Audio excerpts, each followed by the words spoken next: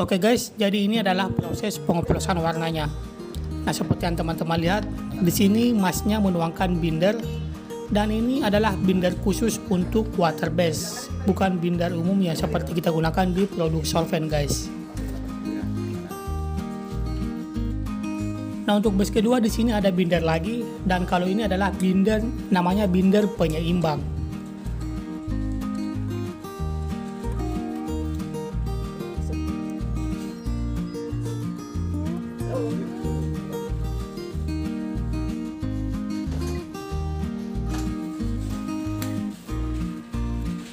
Nah untuk base ketiga di sini ada warna utamanya yaitu warna hitam. Nah teman-teman jadi tadi setelah bereksperimen coba untuk menyatukan antara thinner dan produk water base ini ternyata hasilnya itu seperti antara minyak dan air itu tidak akan bisa menyatu teman-teman.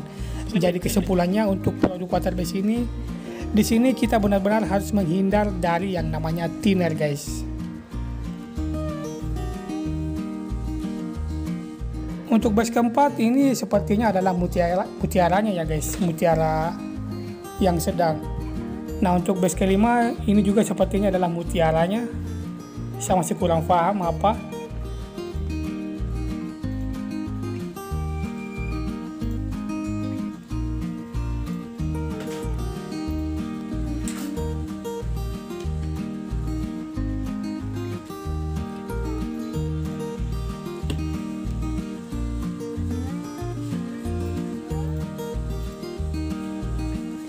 Nah guys, kalau yang satu ini adalah base yang paling wajib kita tuangkan di setiap pembuatan warna atau setiap oplosan. Ibaratnya kalau di produk solvent ini adalah thinner PU-nya guys. Namun kalau di water base ini memang adalah air, namun tentu saja bukan air yang sembarangan, melainkan air yang sudah dibuat khusus.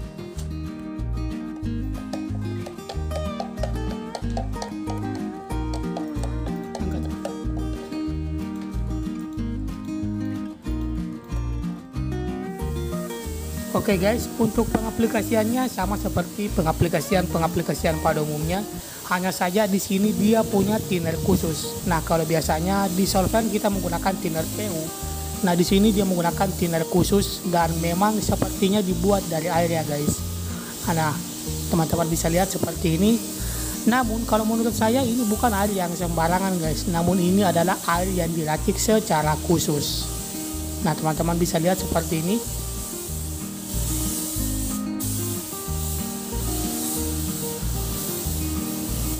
Jadi, apa sebenarnya perbedaan cat solvent dan juga cat water base? Nah, yang pertama dari cara oplosnya. Di sini kita harus menuangkan beberapa binder khusus dan itu wajib kita tuangkan di setiap pembuatan warna atau di setiap oplosan. Nah, yang kedua di sini kita harus membiarkan kering total terlebih dahulu baru bisa kita aplikasikan clearnya. Nah, yang ketiga di sini dia memakai thinner khusus, bukan thinner PU. Yang keempat tentu saja lebih ramah lingkungan guys. Nah selebihnya dari cara pengaplikasiannya dan juga untuk hasil catnya sama dengan hasil cat solvent.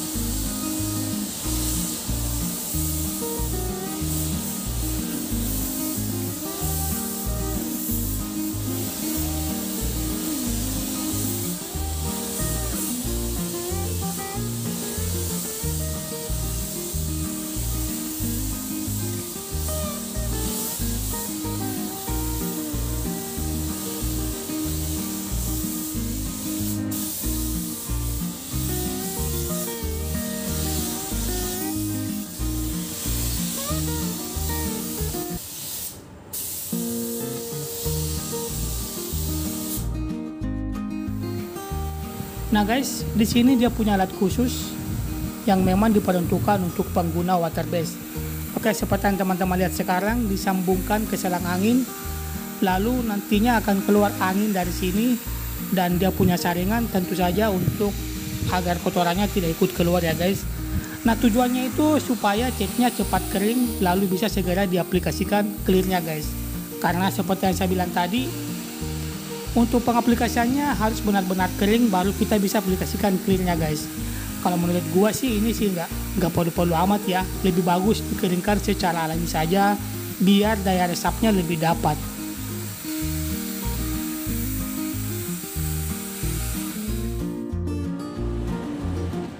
Untuk clearnya tentu saja masih memakai clear solvent bukan water base dan di sini memakai clear dari Chromex tipe 1200S universal. Untuk takarannya 2 banding 1, sedangkan untuk tinernya di sini saya sarankan teman-teman sebaiknya menuangkan thinner sebanyak 5% saja guys.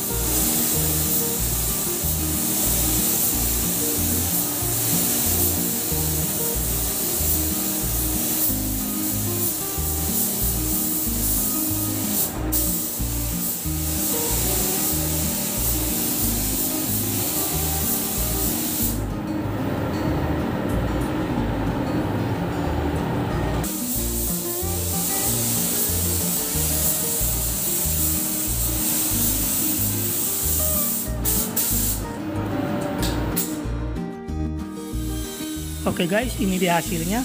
By the way, semua clear yang pernah saya review hasilnya bagus-bagus loh guys. Namun sejujurnya kali ini saya sedikit dibuat terkejut. Nah kalau ini sih benar-benar mirip cermin ya teman-teman. Nah teman-teman lihat sendiri basahnya itu benar-benar padat. Pokoknya udah benar-benar seperti cermin ini teman-teman. Wah kalau kita mau review satu persatu clear yang bagus, sepertinya nggak bakalan ada habisnya deh. Oke, jadi sepertinya saya cukupkan sampai di sini dulu ya teman-teman. Semoga bermanfaat dan Assalamualaikum warahmatullahi wabarakatuh.